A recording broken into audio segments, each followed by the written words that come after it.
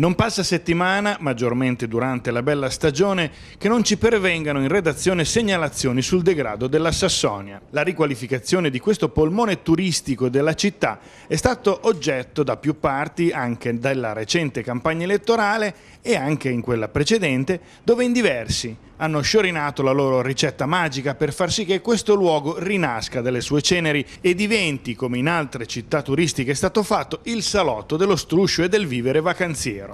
La vocazione ce l'ha, Qui in poco meno di un chilometro c'è l'infilata degli alberghi, ci sono ristoranti e localini dove intrattenersi e c'è anche un bel passeggio. Ci sarebbe lo spazio per una bella passeggiata larga e accogliente fino alla zona degli ex go-kart. Vediamo se questa amministrazione avrà la volontà e troverà le risorse necessarie come prospettato per riqualificare questo luogo. Per intanto sogniamo ad occhi aperti. Aperti sì, ma non troppo, perché aprendoli del tutto e ascoltando anche le segnalazioni ci accorgiamo del triste ricordo che i turisti invece si portano a casa. Viale Ruggeri, le scogliere funzionano, nulla da dire, lo stato della banchina però tra l'arenile e la strada non rappresenta il meglio del meglio, anzi ampi punti sbrecciati, asfaltatura irregolare e in alcuni punti anche cadente e i pedoni che non sanno bene dove passeggiare o camminare in sicurezza. Proprio qui di recente si è verificato un incidente stradale che ha visto protagonista una turista finita all'ospedale perché urtata da un SUV di passaggio.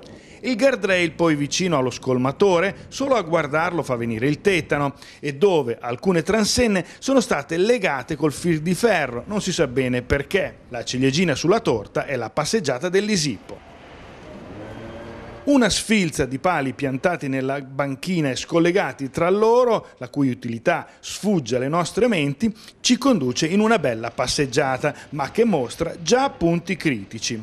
Oltre alle quattro terrazze sul mare, Cemento sfaldato con tondini arrugginiti in bella vista e, come segnalatoci da più parti, una brutta ringhiera arrugginita e spezzata nel mezzo ed in un punto senza protezione, che è una vera minaccia. Finirci sopra e tagliarsi per un bambino o per un adulto è più facile che prendere l'acqua dal frigo. Ultima ma non ultima considerazione, l'assenza totale di cestini porta rifiuti lungo tutta la passeggiata, unico esemplare all'ingresso del camminamento, poi nulla fino al molo. E fazzoletti, lattine, cannucce, coni gelato, tetrapacche di succhi di frutta, eccetera, eccetera, che fine fanno? Al di là della murata in cemento, gli scogli ne sono ovviamente pieni. Bene, in molti ora si chiedono, in attesa del nostro futuristico skyline, questi piccoli ma sostanziali interventi, chi di competenza li può fare?